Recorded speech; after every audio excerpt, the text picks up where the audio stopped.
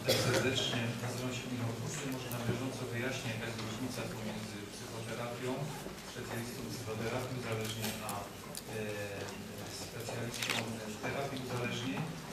Ja pracuję w Centrum Psychiatrii w Katowicach. Kiedyś nasz szpital nazywał się Szpitalem dla Psychicznie i. Nasz dyrektor zawsze mówił, że w naszym szpitalu pacjenci są psychiczni, a personel jest nerwowo chory. Stąd ta różnica naszego psychu. E, e, Ja, tak jak powiedziałem, pracuję na co dzień z osobami uzależnionymi. E, Zajmuję się pomaganiem tym osobom, które już Głośniej. Halo? E, Dzisiaj e, chciałem Państwu opowiedzieć o takiej metodzie, która trochę została zakurzona moim zdaniem w latach 90., kiedy brałem udział w pierwszym takim własnym e, szkoleniu dotyczącym pomagania. E, kilka dni wałkowaliśmy w słowie tę metodę, e, odgrywaliśmy scenki, e, wielokrotnie powtarzaliśmy te scenki, żeby e, doskonalić się w tej metodzie. Metoda jest skuteczna, e, jest dobrym narzędziem w motywowaniu osoby uzależnionej. Dzisiaj właśnie o tym opowiem. Powiem o tym, dlaczego osoby uzależnione nie chcą się leczyć, e, później przejdę już do szczegółowego opisania metody interwencji wobec osoby uzależnionej. E, Wiadomą sprawą jest, że kiedy coś nas boli, to chętnie idziemy do lekarza. Problem uzależnienia e, polega na tym, że często to, co robi osoba uzależniona, nie jest przez nią jakoś postrzegane w właściwy sposób. Działają mechanizmy, osoba nie chce przyjść na terapię, bo też nie uważa, że ma problem. Tych powodów, dla, dla których ludzie nie chcą się leczyć, jest oczywiście więcej. E, można powiedzieć, że e, jeżeli przychodzi nastolatek do terapeuty, to z reguły e, przyprowadza go rodzina, albo kurator, albo e, ktoś inny, ale tak naprawdę to, co jest e, widoczne, to zewnętrzny nacisk na zmianę. E, Młodzież też nie bierze odpowiedzialności za problemy, które ma i z reguły e, znajduje się pod silną presją otoczenia. To też może być czynnikiem takim demotywującym do zmiany. Drugą taką ważną rzeczą jest też to, że e, osoba uzależniona nie potrafi dostrzegać korzyści, które wynikają z zaprzestania picia czy brania. Świat czy życie bez substancji, która stanowi taki osiowy, centralny punkt e, życia, no, dla wielu tych osób wydaje się nierealny, niewyobrażalny. Więc e, trudno e, podjąć w ogóle decyzję o terapii. Lęk przed zmianą jest też czymś, czymś powszechnym i dla wielu osób przerwanie w ogóle zmowy milczenia wokół problemu może stanowić też problem. Osoby, które przychodzą do nas mówią często, że jeżeli wyjdzie to na jaw, że się leżą, e, może to pogorszyć sytuację w otoczeniu. Jakoś dalej, jeżeli przykład myślę o piciu, to mam czasem takie wrażenie, że w naszym kraju picie jest normą, a leczenie się jest wstydem. E, I te osoby, które do nas przychodzą, często przejawiają taką postawę.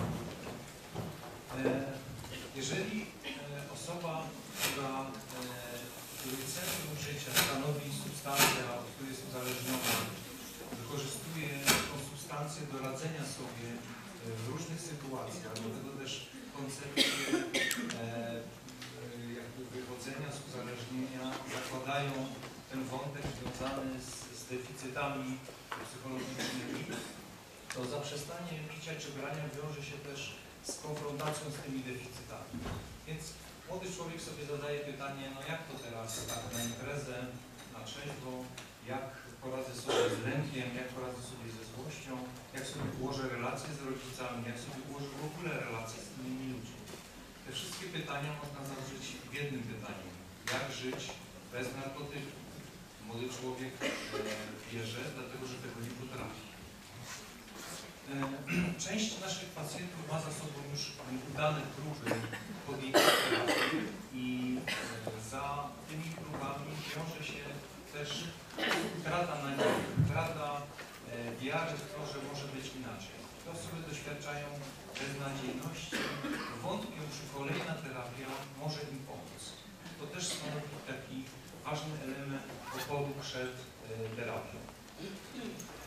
E, Używanie substancji wiąże się z chronicznym osłabieniem poczucia własnej wartości. W efekcie brak oparcia w sobie, niska samoocena uniemożliwia również e, podjęcie leczenia e, i e, niskie poczucie własnej wartości stanowi również powód, dla których osoby uzależnione nie chcą się leczyć. To, o czym powiem, za chwilę rozwinę, to, to mechanizmy obronne, e, które powodują, że osoba uzależniona żyje w nieprawdziwym, nierealnym świecie wyobrażeń na swój temat, na temat swojego życia, na temat kontaktowania się z substancją i w efekcie nie dostrzega e, rzeczywistości. To postrzeganie rzeczywistości jest zniekształcone nie tylko przez samą chemię, ale również przez mechanizmy obrony. Teraz, zanim wyjaśnię, na czym polegają te mechanizmy, odwołam się też do tego, co robią małe dzieci. Dzieci, kiedy znajdują się w różnych takich trudnych dla siebie sytuacjach życiowych, których nie potrafią zmienić, stosują myślenie magiczno-życzeniowe. To myślenie magiczno-życzeniowe pozwala im na dany moment poradzić sobie z sytuacją i nie doświadczyć przykrych emocji związanych z konfrontacją z, z rzeczywistością, z jakimś problemem. I to są przykłady takiego myślenia. Więc e, myślę sobie, że kiedy dziecko konfrontujemy z tym, co się niedobrego wydarzyło w szkole, to często odwołuje się do swojej pamięci, mówiąc, że ja zapomniałem. Ja nie pamiętam, co złego się tam w szkole wydarzyło. E, zupełnie nie potrafię sobie tego przypomnieć. Dzieci też koloryzują wspomnienia, czyli e, patrzą na przykład na fakt wagaru wyłącznie przez pryzmat przyjemnych doświadczeń związanych z tymi wagarami, nie widząc na przykład tego, że konsekwencją tych wagarów była jakaś e, uwaga klasowa, spotkanie z rodzicami, e, brak dostępu do komputera, e, czy po prostu zakaz wychodzenia na dwór przez następne dwa tygodnie. To jest widzenie tunelowe, koncentrowanie się tylko na przyjemnych aspektach danego zachowania, bez dostrzegania całości. Dzieci również, to jest może trochę rozwojowe, pamiętacie Państwo doskonale, jak to małe dzieci zamykają oczy i y, co z oczu, to ze świadomości. Czyli jeżeli czegoś nie widzę, to tego zupełnie nie ma. E, Potem okazuje się, że ten mechanizm czasem jest jeszcze dalej stosowany w momencie, kiedy jest coś no, przykrego. Dzieci e, zdarza się, że, że e, zrobią coś niedobrego, nie wiem, się wylewa papę na dywan, no to dobrze jest zamknąć oczy i pomyśleć, że jak się dotrze do trzech, to ta plama z atramentu zniknie. To są czary. Również e, dzieci sta, starają się nie konfrontować z rzeczywistością poprzez ucieczkę e, w przyszłe momenty, poprzez koncentrowanie się na przyszłości. Mówią e, sobie, że będzie wspaniale, kiedy będę już dorosły, będę miał 18 lat, nie będę musiał słuchać rodziców, zajmować się szkołą. E, Ten, e, ten sposób myślenia pozwala na odsuwanie od siebie konieczności koncentrowania się na zadaniu, na przykład, które należy zrobić. To myślenie magiczno-życzeniowe e, jest potrzebne. Na dany moment, e, jako osoby dorosłe, również stosujemy ten mechanizm. Mechanizmy obronne pozwalają nam na to, żeby we właściwy i e, z odpowiednim tempem, w dany sposób dostarczać do swojej świadomości informacji zagrażających. Czyli e, bywa tak, że czasem, kiedy na przykład słyszymy, że e, osoba, którą spotkaliśmy dwa dni temu, zmarła, z niedowierzaniem mówimy, no ale jak to jest możliwe, przecież ja go dwa dni temu widziałem. Myśląc w ten sposób i zaprzeczając temu, że może właśnie tak być, e, pozwalamy na to, żeby informacja mogła się zasymilować i dotrzeć do, do naszej świadomości w taki sposób, który nie spowodowałby u nas jakiegoś silnego e, wzrostu napięcia emocjonalnego. Ktoś kiedyś powiedział, że gdyby nagle sobie przypomnieć wszystkie traumatyczne przeżycia z życia, no to na pewno człowiek stałby się neurotyczny. E, mechanizmy ochronne pozwalają na to, żeby dopuszczać do swojej świadomości informacje w taki sposób, żeby one były jakoś tam możliwe do przyjęcia. Ale jako osoby dorosłe e, traktujemy często ten mechanizm, czy te mechanizmy obronne jako ostateczna taka testa ratunku, kiedy nie wiemy już co począć, myślimy sobie, a jeden problem to nie problem, jakoś to będzie Pomyślę o tym jutro. Nie będę się dzisiaj tym zajmował. E, w efekcie e, faktycznie jest tak, że przeżywamy emocje e, związane z tym myśleniem, które stosujemy, bo jak myślę, tak czuję. Ale następnego dnia budzimy się rano i mówimy sobie, hola, hola, no, muszę się zabrać za, za to, co jest ważne i nic się samo nie rozwiąże. Pamiętam taki moment, kiedy hmm, oglądałem katastrofę smoleńską, to e, szef delegacji smoleńskiej e, oczekujący na samolot w Smoleńsku dostał informację o tym, że nastąpiła katastrofa. Jego pierwsze słowa brzmiały, a czy stało się pomóc coś? Myślę sobie, że to jest właśnie coś takiego, że, e, że te mechanizmy są potrzebne, są e, dobre, ponieważ one po, pozwalają na utrzymanie jakiejś równowagi emocjonalnej, psychicznej. Natomiast e, problem jest w tym, że jeżeli zostają wykorzystywane przez osobę uzależnioną, która zaczyna czarować i manipulować tym myśleniem, to w efekcie taka osoba zatraca kontakt z rzeczywistością i żyje w swoim świecie iluzji zaprzeczeń, e, do którego trudno dotrzeć. Jakie to są czary, jakie mechanizmy stosuje osoba uzależniona. Mm, Myślę sobie, że e, problemem na przykład wielu e, lekarzy jest to, że e, chcąc pomóc pacjentowi zadają pytanie o przyczyny picia czy brania narkotyków. Więc pytają, proszę powiedzieć, dlaczego to się tak dzieje? No i tutaj oczywiście zacznie się bardzo długa, wyczerpująca opowieść o tych stresach, które ta osoba doświadcza, o niezrozumieniu, o poczuciu krzywdy. E, czyli powiedział, że e, na wypadek e, pytania o uzależnienie każda osoba, która jest uzależniona, ma usprawiedliwienie, dlaczego to robi. Ten mechanizm nazywa się intelektualizowaniem, ale właściwie bardziej jest to racjonalizacja. Gdyby zapytać też osobę uzależnioną, czy ma takie poczucie, że ktoś lub coś jest przyczyną tego, że ona to robi, to też usłyszymy oczywiście e, o, o, o innych ludziach, którzy są odpowiedzialni za to, że to, co się dzieje w życiu tej osoby, te konsekwencje są ich powodem. Klasyczne obwinianie. Z reguły jest tak, że otoczenie dużo wcześniej widzi problem niż sama osoba e, uzależniona i oni są przekonani o tym zgodnie co do tego, że problem istnieje. Natomiast taka osoba, pomimo oczywistych faktów, zaprzecza. Więc stosuje proste zaprzeczanie w sytuacji, kiedy jest konfrontowana z faktami. Mm, Intelektualizowanie. Tu mi się przypomina taka śmieszna historia, jak e, pacjent uzależniony od alkoholu, e, kiedy rozmawialiśmy o, jego mechanizmach, przytoczył taką historię, kiedy siedząc w barze, rozmawiał ze swoim kolegą całkiem poważnie, będąc oczywiście już sam osobą uzależnioną, kto tu w tym lokalu jest uzależniony. W pewnym momencie drzwi się otwarły i ten mój pacjent mówi, zobacz, ten, który wchodzi, to, to, to jest też w tej grupie, to jest alkoholik. Na co ten kolega pyta, a skąd też? Mój pacjent, no to, bo e, za każdym razem, kiedy ja tu jestem, to on tu też jest. Można dyskutować na temat tego, ile przypada litrów czystego spirytusu na osobę w tym kraju, albo e, jak to się pije w krajach południowych, albo jak dostępna jest marihuana e, w Amsterdamie. E, I to wszystko powoduje, że tak naprawdę nie dostrzega się też u siebie problemu, tylko to są teoretyczne dywagacje na temat, na temat tego, kim jest lub nie jest osoba uzależniona, albo co jest normalne, albo nienormalne w tym używaniu. Mm, Marzeniowe planowanie.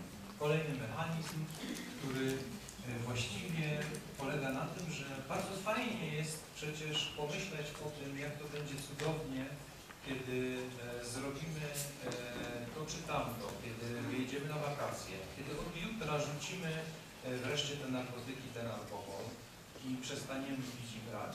Natomiast no, jakby kolejny dzień wydaje się niczym nie różnić. Od jutra nie piję, mówią nasi pacjenci, od jutra nie biorę. Tu też e, chyba e, najbardziej taka dla mnie e, przejawem takiego mechanizmu marzeniowego planowania jest sytuacja też życia wzięta. Pacjent mi opowiadał kiedyś też taką sytuację, przyszedł do lokalu, znajoma barmanka powiedziała, że nie musi się płacić za nic, wszystko jest gratis, ponieważ pan Iksiński e, wygrał w lotto duże pieniądze. Więc mój pacjent uradowany, bo w czasie czynnego picia e, podszedł do tego e, pana, który rzekomo wygrał i pyta go, no, dziękuję, no, gratuluję, a ile wygrałeś, czy mógłbyś powiedzieć? On mówi, że nie wie, dlatego że w sobotę jest losowanie. Pacjent jak mi to opowiadał, że sam czuł, że coś jest nie w porządku. Pomyślał, że, e, że coś tak, więc pytał tego mojego, swojego kolegę, e, słuchaj, ale pytaj, czy ty wiesz, że tutaj wszyscy na to konto piją? No wiem, e, ale ja na pewno wygram, bo ja mam system. Skąd masz ten system? Kupiłem w kiosku taką broszurkę, jak wygrać w. E, No, jak można się domyślić, pacjent nie wygrał żadnych, żadnych pieniędzy, natomiast dostał rachunek na 27 tysięcy za do zapłacenia. E, Więc tak wygląda to marzeniowe planowanie. Odwracanie uwagi. Kolejny mechanizm polegający na tym, że kiedy rozmawiamy z nastolatkiem albo w ogóle z osobą, która jest uzależniona na temat jego palenia, picia, brania narkotyków, to wtedy momentalnie po- pojawiają się jakieś bardzo istotne sprawy, które trzeba natychmiast poruszyć, a które nie dotyczą oczywiście brania czy picia. E, słuchaj, bo właśnie, bo mi się przypomniało właśnie, że słuchaj, jest zebranie albo tu trzeba podpisać ten dzienniczek, bo mam uwagę. Jest to bezpieczniejsze niż mówienie na temat tego, że od niego czuć papierosy, czy czuć alkohol, e, czy że ma oczy szkliste. Więc e, to jest odwracanie uwagi, też pozwala na obronę uzależnienia. E, No, niektóre osoby mają też takie poczucie wyjątkowości.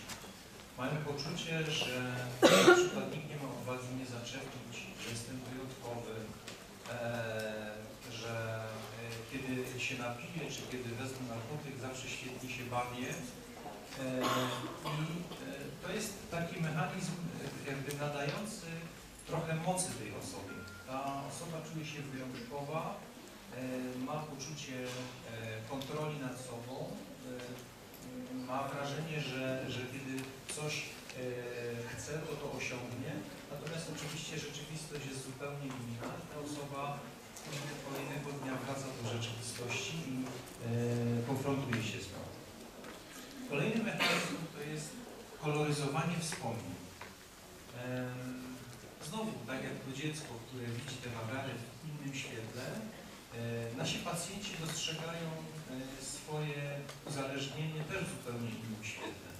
Pacjent e, opowiada o świetnej imprezie związanej z e, kawalerskim swojego kolegi, po czym kończy tą opowieść e, no, wymieniając konsekwencje w postaci znalezienia się z uszkodzonym kręgosłupem na ojomie, e, drugi kolega na pogodowiu, trzeci wstrząśnięcie mózgu, a czwarty na dedoksie. E, Rozmowa tych wszystkich czterech panów po pewnym czasie, kiedy się spotkali, m, jakby zawierała w sobie taką główną myśl, świetnie było na kawalerskim.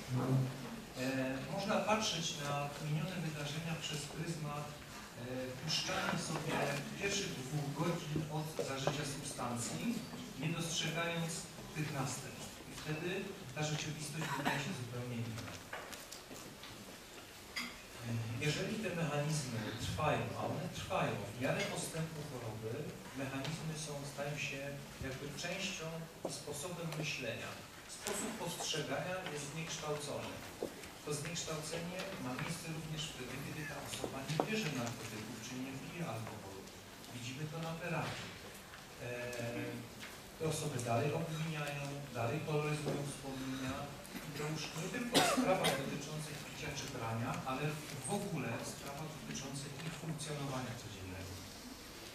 E, Stosowanie tych wszystkich mechanizmów powoduje, że taka osoba zaczyna obrastać takim murem nieprawdy.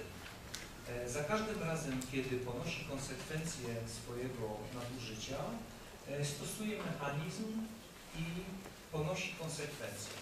Z jednej strony doświadcza wstydu, poczucia winy, e, traci e, jakieś relacje ważne dla siebie, zdrowie, czasem jest wyrzucana ze szkoły.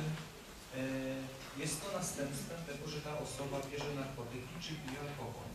Natomiast przez ten mechanizm i przez sposób postrzegania tej rzeczywistości taka osoba zdaje się nie dostrzegać to w wyraźnych barwach. Jakby trochę zamknie. To jest trochę tak, jakby y, jechać samochodem przy gwałtownym ulewie i mieć włączone wycieraczki. W kiedy nic nie.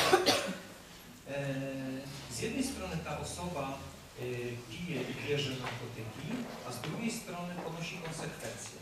Ale będąc w tej studni zakłamania, e, nie dostrzega zupełnie związku przyczynowo-skutkowego. Przychodzi na terapię i mówi, e, no tak, ja to robię, ponieważ ja mam problemy. Piję i biorę, bo mam problemy. E, A nie biorę czy piję i w związku z tym ponoszę konkretne konsekwencje. Teraz metoda interwencji wobec osoby uzależnionej jest tak naprawdę przełamaniem się przez ten mur zaprzeczeń i pozwolenie na to, żeby ta osoba dostrzegła wreszcie, że to, co robi, sposób kontaktowania się z substancją e, powoduje u niej negatywne następstwa. To jest trochę tak, gdybyśmy dostrzegli oczami naszych bliskich nam osób rzeczywistość.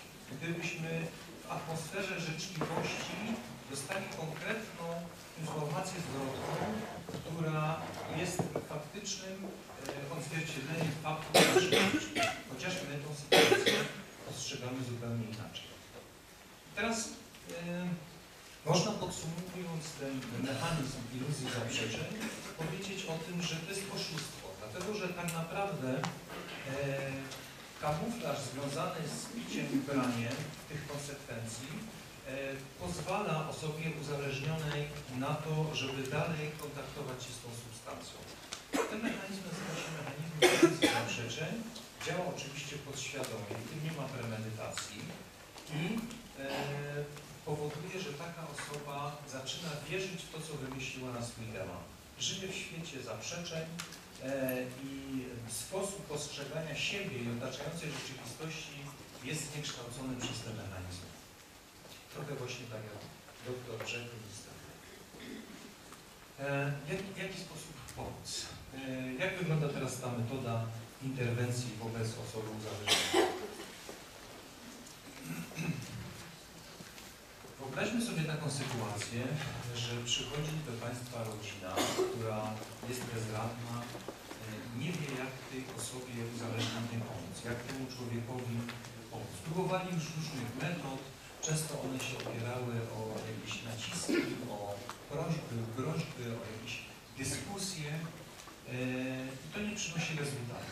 W związku z czym e, można zaproponować metodę, która, jeżeli oczywiście będzie dobrze przygotowana, e, spowoduje, że ta osoba, która ma problem, jest uzależniona, trafi w końcu do placówki leczenia uzależnień. E, Nie mówię o jakby tutaj o, o konsekwencjach, czy, czy może o efektywności dalszego leczenia. Wiecie Państwo sami, że ta efektywność osób uzależnionych nie jest zbyt wysoka.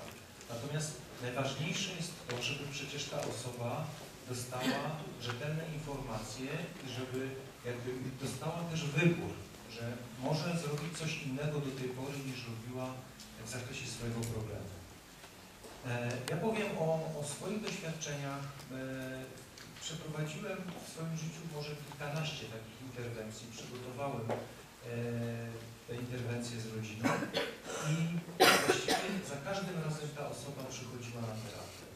Czasem było tak, że zanim w ogóle doszło do interwencji, to ta osoba przychodziła do mnie na konsultację uzależniona, a czasem było tak, że e, e, w takich pojedynczych przypadkach, kiedy nawet ta osoba nie przyszła, to przychodziła na przykład za pół roku i mówiła, że e, kiedyś mi już rodzina proponowała coś takiego, ale ja jeszcze wtedy nie byłem gotowy i dlatego teraz przyszedłem.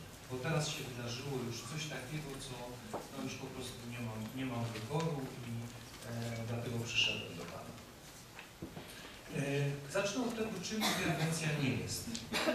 E, na pewno nie jest to awantura rodzinna na temat tego, e, że ta osoba uzależniona zachowuje się w jakiś tam określony sposób. Nie jest to też jakaś sesja pełna oskarżeń, pretensji e, wobec tej osoby uzależnionej. To też nie jest dyskusja na temat tego, dlaczego osoba pije czy bierze, jakie są powody tego, że ona używa. Dlaczego, y, czym też interwencja nie jest? Jest też na pewno konferencją na temat tego, czy to zachowanie jest normalne, czy już jest zachowaniem chorobowym, czy to już jest uzależnienie, czy tylko picie ryzykowne. Więc e, na pewno trzeba o tym pamiętać. Dodatkowo, interwencja nie jest też e, jakby oceną tej osoby. To nie mówimy podczas interwencji na temat tego, że ktoś jest złym uczniem, że ktoś jest złym bratem, że jest niedobrym dzieckiem. Nie o to chodzi zupełnie. E, Nie przeprowadzamy też sesji terapeutycznej, zupełnie też nie o to chodzi. Nie diagnozujemy uzależnienia i nie dyskutujemy na temat tego, czym właściwie jest uzależnienie, albo kto to jest narkoman czy alkoholik. E, Nie upokarzamy tej osoby. Nie o to chodzi zupełnie w tej sesji. W takim razie, jeżeli nie to, to co? No, gdyby tak powiedzieć pokrótce, no na pewno działanie z zewnątrz, bo pomoc, ta osoba skoro jest w Matrixie, to w Matrixie jest Matrix. Ktoś musi z zewnątrz przyjść i powiedzieć, że rzeczywistość jest zupełnie inna. E, Jest to działanie z zewnątrz. Jest to pomoc osoby, która nie chce tej pomocy. Też musimy być świadomi tego, że gdyby mnie Państwo dzisiaj przekonywali, że mam wziąć insulinę, to też tego nie zrobię, bo nie uważam, że jestem chory. E, anorektyczka też twierdzi, że jest otyła. Mówienie jej, że, e, że ma jeść, bo jest szczupła, no też będzie się spotykało z oporem. E, namowy osoby uzależnionej wprost, że masz się leczyć, bo jesteś uzależniony, też spotkają się z oporem. Dlaczego? Rodzina mówi, czy on tego nie widzi? Ja mówię, nie widzi, bo nie stanie. No ale przecież to się już wydarzyło i to wyrzucenie ze szkoły, izba wyczerźwień, kurator. No i on dalej. Nie widzi? Ja mówię, no nie widzi. E, Trudno e, jakby tej osobie zrozumieć, tej rodzinie, że to jest właśnie tak. Dlatego jedną z ważnych, e, jednym z ważnych elementów przeprowadzenia interwencji czy przygotowania rodziny do interwencji jest wątek edukacyjny. Sesja interwencyjna jest też działaniem właściwie wbrew temu, co osoba uzależniona chce. Musimy mieć tego świadomość. E, atakujemy obrony, a nie człowieka. Do człowieka miękko, do człowieka twardo. E, e, o rzeczowym, konkretnym i podstawowo życzliwym charakterze. Tak ogólnie. Podsumowując, jakby czym interwencja jest, powiedziałbym, że to jest obiektywna, rzeczowa i życzliwa prezentacja faktów o prawdziwym życiu osoby uzależnionej, z którą kontakt został zerwany. Rzeczywistości, z którą kontakt został zerwany. Tak można powiedzieć. Więc praktycznie to wygląda tak, że osoby, które są bliskie osobie uzależnionej, spotykają się wspólnie i przygotowują spotkanie, które ma pomóc tej osobie zobaczyć rzeczywistość taką, jaka ona jest. E, Ma e, to na celu konfrontację z faktami, e, z którymi ta osoba jest odcięta. Jak to w praktyce wygląda? Przede wszystkim bardzo ważne jest, żeby podczas tej sesji być konkretnym i rzeczowym. Konkretność interwencji polega na tym, że mówimy o faktach, a nie mówimy o zachow i zachowaniach, a nie mówimy o jakichś domniemaniach. to można powiedzieć, y, że ktoś może uznać na przykład, że faktem jest to, że dzisiaj jest brzydka pogoda. No ale to, czy ona jest brzydka, czy nie, jest subiektywnym tylko doświadczeniem. Faktem jest to, że jest 5 stopni Celsjusza i że jest pochmurne. Natomiast nie mówimy o intencjach, nie mówimy o tym, e, że ta osoba myślała, że jej ujdzie na sucho, nie mówimy o tym, że ta osoba zachowywała się, czy była rozdrażniona dlatego, że była skacowana. Nie zajmujemy się domniemami, tylko, domniemaniami, tylko mówimy o faktach i zachowaniach. E, Konkretność interwencji polega na tym, że nie stosujemy uogólnień. E, Można mówić komuś, że za dużo coś robi, za często coś robi, ale podczas sesji interwencyjnej mówimy o konkretach. W związku z czym powiedzenie komuś, że piłeś alkohol 4 dni bez przerwy i że robisz to już po raz trzeci w tym roku i że właściwie od, od wakacji, weekendy chodzisz, każdy weekend chodzisz na dyskoteki, kiedy wracasz z tych dyskotek, jesteś pod wpływem narkotyków, to to jest konkret. Życzliwość to jest kolejna ważna rzecz, która e, e, może i powinna pomóc. E, chodzi o coś takiego, że atmosfera, która ma być podczas tej sesji interwencyjnej, ma być atmosferą troski i miłości wobec tej osoby. Dlatego tak ważne jest, żeby uczestniczące osoby, uczestniczące osoby nie traciły szacunku jeszcze wobec tej osoby. To jest trudne, bo często te rodziny mają e, sporo pretensji, się bezradne, bezsilne, a tutaj no, trzeba wykrzesać w so, sobie jeszcze jakby te pokłady, unieść się trochę ponad te różne sytuacje i starać się na tyle, na ile się da, być życzliwym dla wobec tej osoby. Więc prawda nie może mieć kształtu kamienia, który zabija. To jest jakby ważna rzecz. Człowiek musi się na to otwierać. Teraz, jeżeli chodzi o udział w sesji. Kto powinien wziąć udział w tej sesji? Więc myślę, że na pewno ważne jest to, żeby e, interwencję przeprowadzała rodzina, bliscy, znajomi, krewni, e, nie więcej niż trzy, e, nie więcej niż sześć osób, e, nie mniej niż trzy osoby, osoby życzliwe, które, i to jest podstawa, muszą znać fakty z życia tej osoby i muszą mieć takie doświadczenie, w których e, obserwowali czy osobiście doświadczyli zachowań związanych z piciem czy z braniem narkotyków. Byli ich świadkami. E, więc e, kolejna taka ważna rzecz to udział e, konkretnych osób, to na przykład może być wychowawca, pedagog czy psycholog szkolny, ale też pod warunkiem, że jest to osoba, która może wymienić fakty e, związane z piciem czy z braniem osoby uzależnionej, po to, żeby też przedstawić e, argumentację. E, przyjaciele, oczywiście nie te osoby, z którymi ta osoba na co dzień przebywa i bierze narkotyki, tylko te, które, z którymi kontakt na przykład został zerwany przez to, że ta osoba właśnie uzależniła się. Dzieci mogą być, ale nie młodsze niż 8-10 lat. I wszystkie osoby, które uczestniczą w tej sesji, muszą zaakceptować fakt, że uzależnienie jest chorobą. To jest podstawa. E, Teraz, jeżeli chodzi o, e, o, o czym mówimy na sesji, czyli jeżeli mamy ten zespół interwencyjny zebrany, są osoby, które chcą e, pomóc tej osobie, to ważne jest, ta sesja zawiera takie trzy elementy.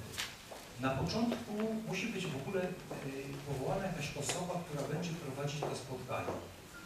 Ktoś tak, tak najbardziej e, może opanowany, osoba, która jest jakaś stabilna i potrafi na przykład przyjąć krytykę, oceny, atak osoby uzależnionej.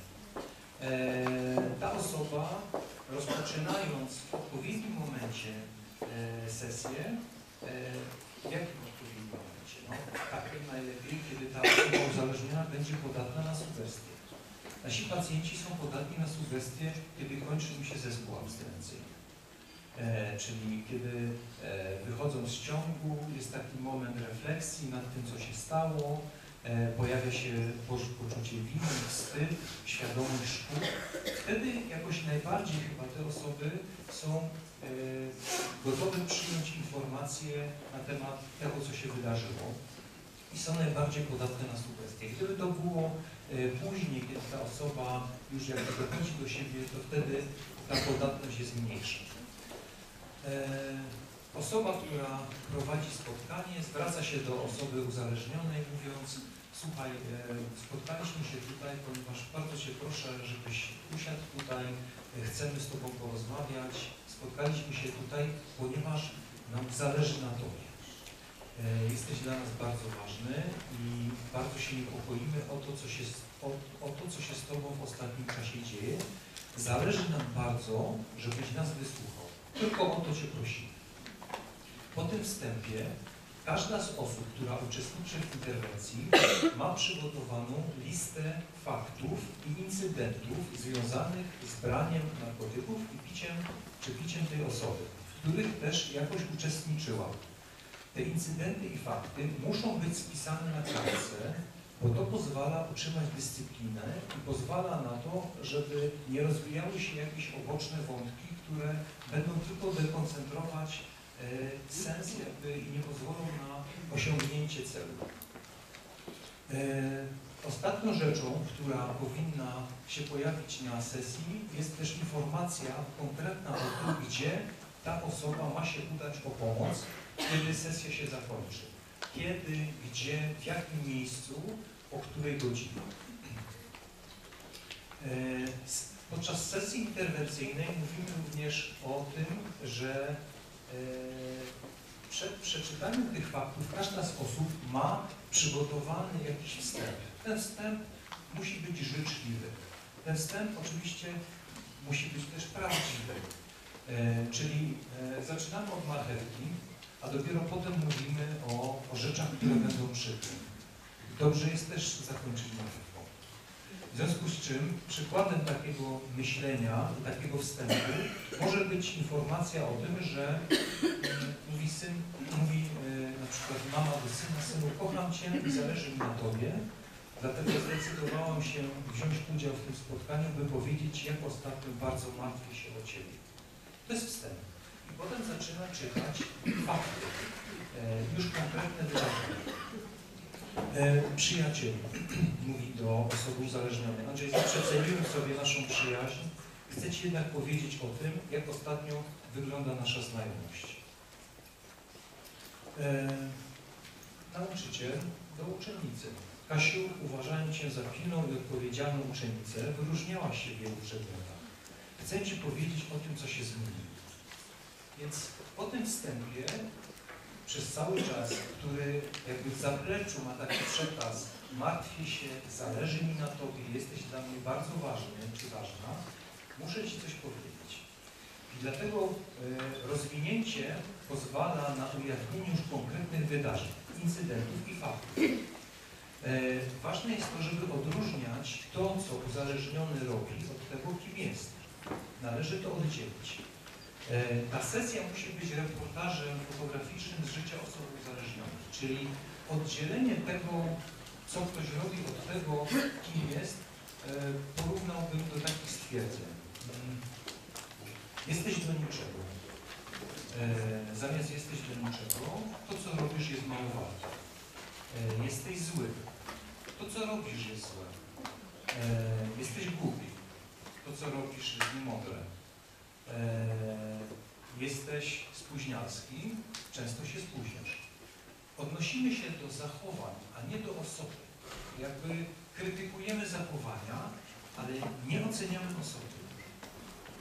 Sesja musi być tak, e, te rozwinięcia i fakty muszą być tak podane, żeby ta osoba e, potrafiła sobie wyobrazić dokładnie, tak jakby Państwo puścili jej e, film na kam przez kamery nagrane. Co się wtedy wydarzyło? Zaraz podam te przykłady. Mówimy o faktach, powtarzam, a nie o intencjach. Nie dyskutujemy zupełnie. Jeżeli będzie taka sytuacja, że osoba zacznie przerywać, zacznie mówić, no dobrze, ale o co wam chodzi w ogóle? A czemu ty się czepiasz? Wtedy przecież to było tak i tak. Osoba prowadząca musi powiedzieć, poczekaj chwilkę, bardzo Cię proszę, wysłuchaj nas do końca. E, tylko na tym nam zależy.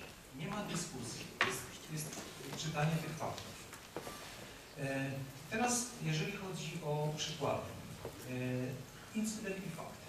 W ostatnim tygodniu tylko w poniedziałek i środę byłeś trzeźwy, w pozostałe dni przychodziłeś z uczelni wieczorem i zawsze czuć było od Ciebie alkohol. Inny przykład. Nie wywiązałeś się z zobowiązania chodzenia do szkoły. We wtorek, dwa tygodnie temu, wróciłem z pracy wcześniej i zastałem się w pokoju, byłeś nieprzytomny. Wezwałem pogotowie, myślałem, że nie żyjesz. Byłem przerażony. W szpitalu stwierdzono, że wziąłeś narkotyki.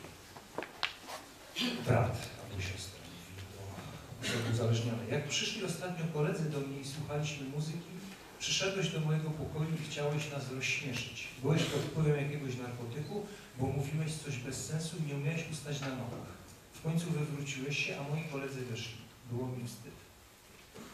Tych faktów każda osoba powinna być przygotowanych od 3 do 5.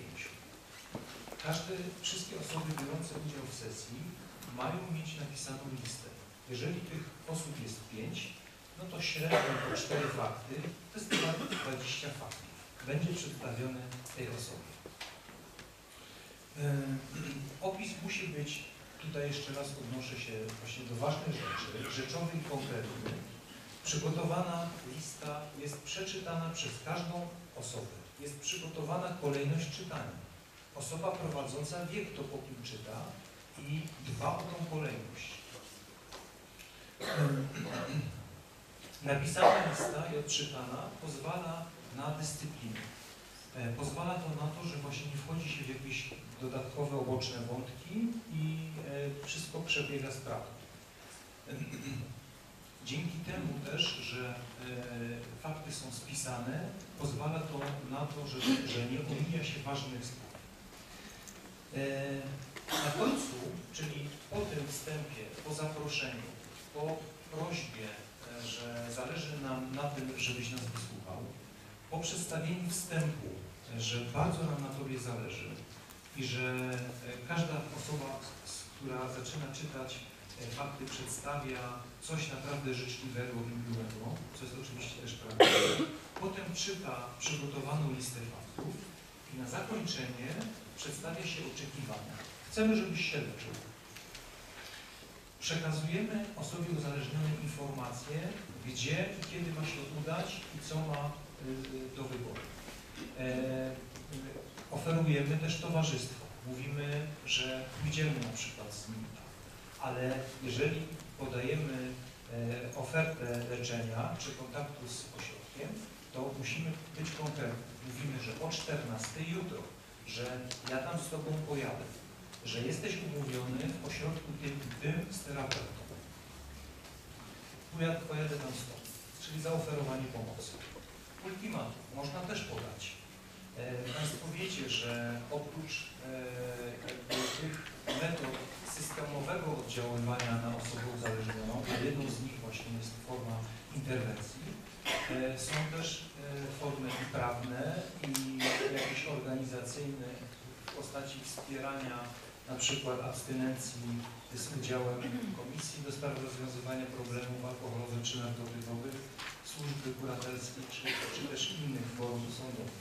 Ale ta systemowa, e, systemowe oddziaływanie e, może na przykład e, wiązać się z tym, że na końcu mówimy tej osobie, że my wszyscy w takim razie będziemy musieli podjąć jakąś decyzję w tej sprawie.